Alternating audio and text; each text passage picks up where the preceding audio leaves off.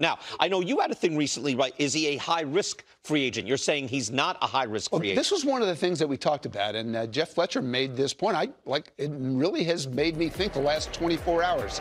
Um, is he the riskiest free agent?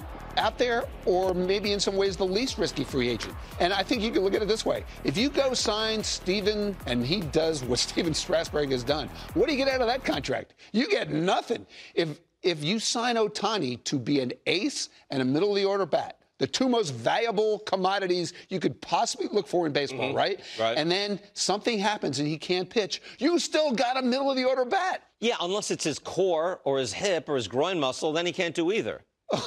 okay. Well, it's a, he's still one, thing, body. There's a thing that happens to baseball players. They get hurt. Okay, you can't control that. But but, this gives you two chances to right, get. Right. Here's where I disagree. All right, right, and he did do that. In your defense, he did do that. He, when, if you hurt this ligament here, he can still hit, and he will hit. And he did. And he did. However, if he hurts any other part of his midsection or anything like that, the whole both players go down, and you might be spending 50 to 60 million dollars. I hear for this guy. So that's not risk. That's high, high risk.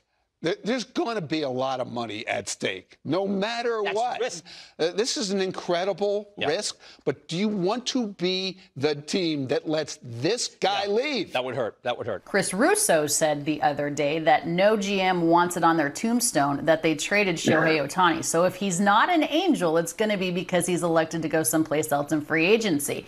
Do you think yeah. he's an angel past this year? Yeah, you know, and I've said this, Alana, a bunch of times, and so many people come in when, when visiting clubs go, where's he going to go? I go, I think he's going to stay with the Angels. I really do. I mean, obviously, we're, we're always going to be biased. We want to be able to talk about Shohei Ohtani every day. But when you think about it, the comfort zone, I mean, Zach Neto and Mickey Moniak already said these are young kids saying he's the best teammate they've ever had.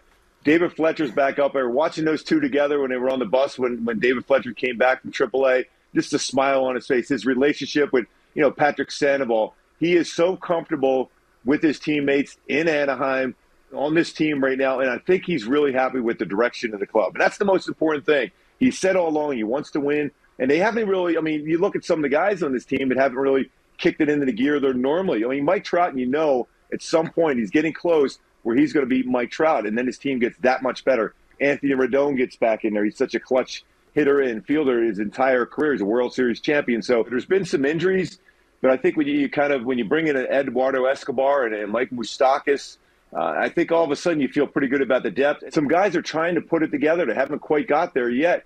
They're six games over 500. So I, I, that's why I think Shohei feels this the right team. They have some great arms in, in the minor leagues. They have about three or four really good infielders and outfielders that might make an impact within a year or two. So the direction of the club is going in right now makes me feel that Shohei, no matter what everyone's saying, I really think Shohei is going to remain an angel.